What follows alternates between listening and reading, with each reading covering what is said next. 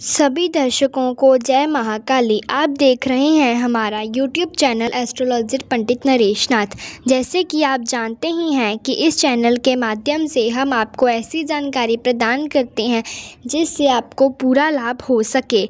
सभी मूलभूत आवश्यकताओं को पूरा करने के लिए धन की आवश्यकता पड़ती है। धन अर्थात लक्ष्मी। लक्ष्मी के बिना तो नारायण भी अधूरे हैं। तो साधारण आदमी की तो औकात ही क्या है? आज हम आपको स्वर्ण आकर्षण प्रयोग बताने जा रहे हैं। यह कल्पना नहीं हकीकत है। प्राचीन काल में हमारे ऋषि इन ही प्रयोगों से बड़े बड़े अनुष्ठान करते थे और समय समय पर राज खजाने को भरने के लिए ऐसे प्रयोग करवाते थे। आप भी इन प्रयोगों में श्रद्धा रखकर अपने खजाने को सोने से भर सकते हो। यदि विश्वास हो तो सब संभव है। आज के युग के सभी आविष्कार विश्वास की शक्ति पर ही आधारित हैं, जिनका आप सभी लाभ उठा रहे हैं।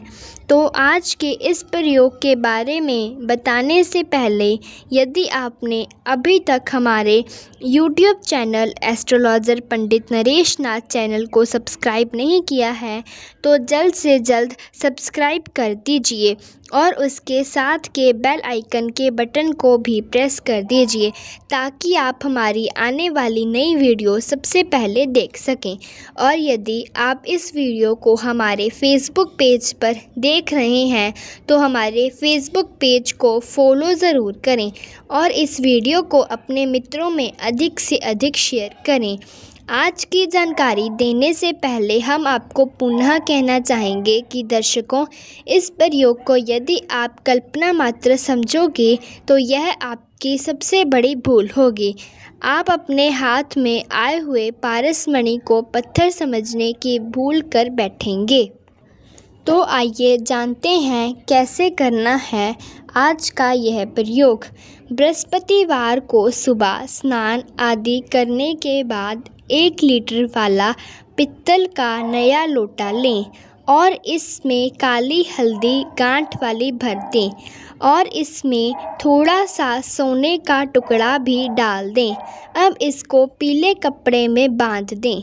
अब इस लोटे को अपने पूजा स्थान पर रखकर पीले रंग के फूल, चावल, हल्दी का तिलक लगाएँ, धूप दीप करें और एक माला ओम लक्ष्मी नारायण स्वर्ण आकर्षण कुरु कुरु स्वाहा का एक माला जाप करें।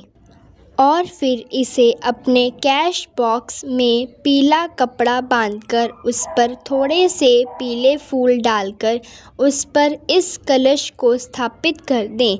लेकिन एक विशेष बात का ध्यान रखें कि यह क्रिया गुरुवार को सूर्य उदय से 12 मिनट में पूरी करनी है।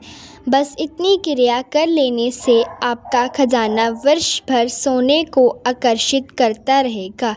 तो इस प्रयोग को करें, अपने मित्रों में अधिक से अधिक शेयर करें और अपने अनुभव को कमेंट बॉक्स में अवश्य शेयर करें।